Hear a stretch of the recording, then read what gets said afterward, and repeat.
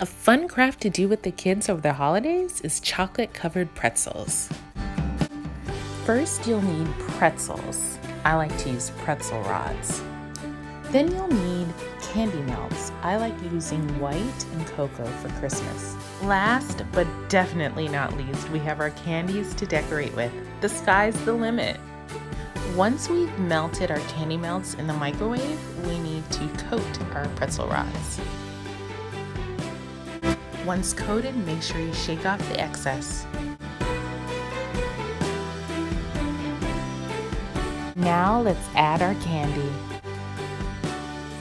For this pretzel, I'm using crushed candy cane. Once coated, it needs to lay down to dry. For this cocoa covered pretzel, I'm using chocolate chips. Use whatever candies remind you of the holidays and Christmas. That's the best one to choose. And there you have it chocolate covered pretzels dressed to the nine. It's the perfect gift your child can give to their friend for the holidays. Merry Christmas and happy holidays from Chef Darlene B.